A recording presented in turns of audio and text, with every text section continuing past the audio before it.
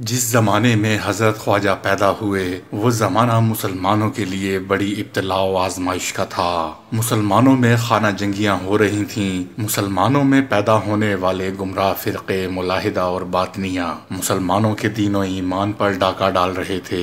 छठी सदी हिजरी के अवाखिर में तमकाच यानी चीन के पहाड़ों से वहशी तातारियों का एक क़्यामत खेज तूफ़ान उठा, जो सारे वस्त एशिया और रूस पर छा गया और उसने चंद ही साल में तमाम इस्लामी ममालिक को ताख्त ताराज कर दिया।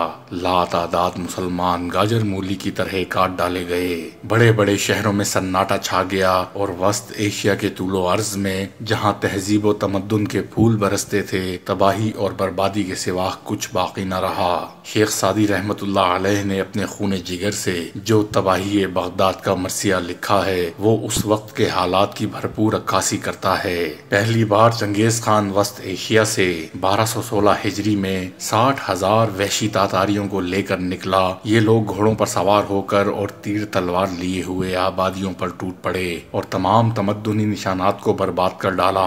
दूसरी बार बारह सौ अट्ठावन ईस्वी में हलाकू खान, जो चंगेज खान का पोता था, उसकी सरकर्दगी में ये कयामत खेज तूफ़ान उठा और उसने उन रियासतों को भी तबाह बर्बाद कर डाला, जो अजीम शान मुस्लिम खिलाफत की तकरीब के बाद असर नौ तामीर का जज्बा लेकर उभरने की कोशिशें कर रही थीं।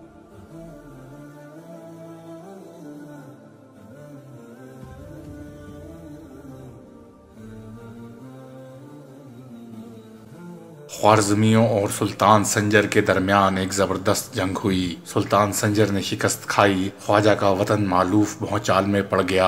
हर तरफ़ एक सख्त बेचैनी फैल गई। ज़िंदगी और इमलाक महफूज न रही। हज़रत ख्वाजा के सर से पंद्रह साल की उम्र में बाप का साया उठ गया।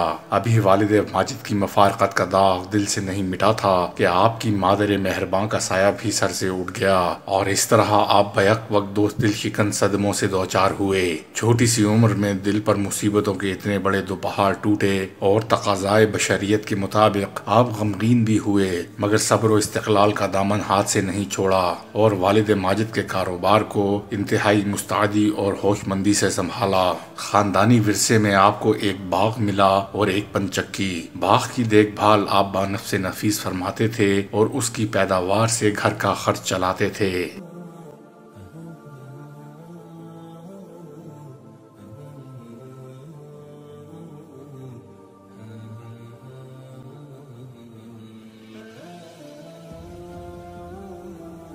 ख्वाजा गरीब नवाज़ रहमत मादरजाद वली थे।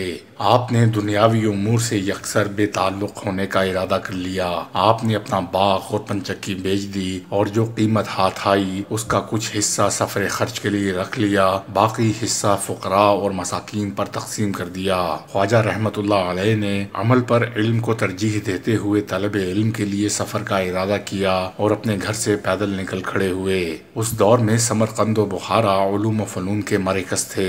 मौलाना माना अजमेरी ने लिखा है कि जमाना तालब इलमी में आपने समरकंद बुखारा में कई उस्तादों से इस्तेफादा हासिल किया। लेकिन तस्करा लिखने वालों ने आपके उस्तादों की फहरिस्त में सिर्फ़ एक मौलाना हसामुद्दीन का नाम लिखा है। हज़रत ख्वाजा उस्मान हारवानी चिश्तिया इस सिलसिले के बहुत बड़े बुज़ुर्ग थे और आपकी अजमत और विलायत का शोहरा लोगों की जुबानों पर था। ख्वाजा साहब रहमत उनकी खिदमत में पाँच सौ बासठ हिजरी में हाजिर हुए और आपके मुरीद हो गए। मुरीद होने के बाद ख्वाजा बुज़ुर्ग बीस साल तक खिदमत मुर्शिद में मसरूफ रहे। यहाँ तक के सफ़र में पीरो मुर्शिद का बिस्तर उठाकर मुस्तकिलन उनके साथ रहे। अगरचे बीस साल की खिदमत के बाद गरीब नवाज़ की बातनी तालीम मुकम्मल हो गई और खिलाफत मिली। लेकिन यहाँ ये वाजह करना ज़रूरी है कि बैत होने के फ़ौरन बाद ही पीरो मुर्शिद की जबान मुबारक से ये मुजदा जहाँ फिजा सुना कि मोइनुद्दीन, तुम्हारा काम पूरा हो गया। बिला आखिर आपको ख्वाजा उस्मान हारवनी रहमत ने खरक़ खिलाफत से सरफराज किया। इसके अलावा जो तबरुकात सिलसिले के बुज़ुर्गों से पीर मुर्शिद को मिले थे। सबके सब गरीब नवाज़ रहमत को अता कर दिए।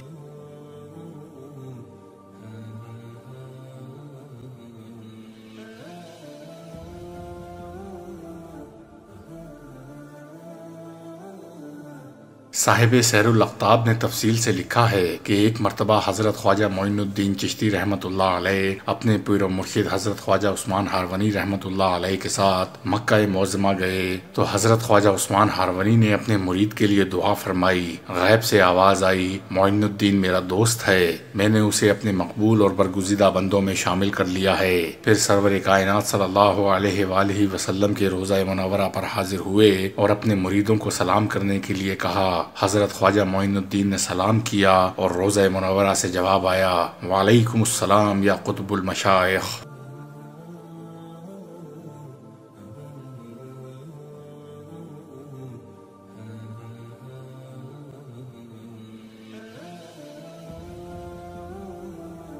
मदीना मुनवरा में ही बारगाह रिसालत में हज़रत ख्वाजा को हिंदुस्तान जाने की बिशारत मिली। नबी करीम सल्लल्लाहु ने आपको हिंदुस्तान अता किया। इसीलिए आपको नायब नबी फिल हिंद और अताए रसूल सल्लल्लाहु भी कहा जाता है। यहाँ ये बात काबिल गौर है कि आपको हिंदुस्तान जाने का हुक्म पीरो मुर्शिद की मौजूदगी में मिला। इसके अलावा बाद में आप हरमैन शरीफैन तनहा गए, तब हुक्म रवानगी हिंदुस्तान मिला। एक रोज रोज़ अकदस से आवाज़ आई कि मोइनुद्दीन को बुलाओ। खुदाम ने मोइनुद्दीन नाम लेकर पुकारना शुरू किया। कई जगह से लब्बाइक की आवाज़ आई। खुदाम ने अर्ज़ किया कि किस मोइनुद्दीन की तलबी है? यहाँ तो मोइनुद्दीन नाम के बहुत से लोग हाजिर हैं। फिर आवाज़ आई कि मोइनुद्दीन चिश्ती को बुलाओ। खुदाम हज़रत मोइनुद्दीन चिश्ती के पास पहुँचे तो उनकी अजब हालत थी। हज़रत ख्वाजा गिरिया और नाला दुरुद सलाम पढ़ते हुए रोज़ अकदस पर हाजिर हुए। आवाज़ आई ए मशाइख अंदर चले आओ। हज़रत बेखुद बंदहोश अंदर गए। वहाँ हज़रत रिसालत माप सल्लल्लाहु अलैहि वसल्लम के जमाल जहाँ आरा से मुशर्रफ हुए। हज़रत सरवर कायनात ने आपकी तरफ़ मुखातिब होकर फरमाया कि मोइनुद्दीन मेरे दीन के मददगार हो। तुम फ़ौरन हिंदुस्तान जाओ। वहाँ इजमेर नाम का एक शहर है। तुम्हारे दम कदम से वहाँ इस्लाम का बोलबाला होगा। फिर नबी अक्रम वसल्लम ने एक अनार हज़रत ख्वाजा के हाथ में दिया कि इसमें देखो तुमको मालूम हो जाएगा कि तुम्हें किस जगह जाना है। इससे साबित है कि गरीब नवाज़ नबी करीम वसल्लम के हुक्म की तामील में हिंदुस्तान आए और किसी किसी दीगर बुज़ुर्ग को इस सिलसिले में किसी किस्म का जाहिरी और बातनी इशारा न था। हसबुल हुक्म ख्वाजा साहब ने अनार में देखा तो मशरक से मगरब तक जो कुछ था उनकी नज़रों के सामने आ गया। शहर अजमेर और उसकी पहाड़ियाँ साफ़ दिखाई देने लगी। अजमेर के राजा को इधर मुनजिमों के ज़रिए हज़रत ख्वाजा की तशरीफ़ आवरी की खबर मिल गई। उसने जगह जगह अपने अम्माल को हुक्म दिया कि इस कयाफा का कोई दरवेश इस तरफ़ से गुजरे तो उसे फ़ौरन हलाक कर दिया जाए। बहरहाल, आलम में बेदारी में हज़रत ख्वाजा बुज़ुर्ग को सरवर कायनात सल्लल्लाहु अलैहि वसल्लम ने इजमेर जाने का हुक्म दिया और गरीब नवाज़ रहमत ने हिंदुस्तान के लिए कमर बाँध ली।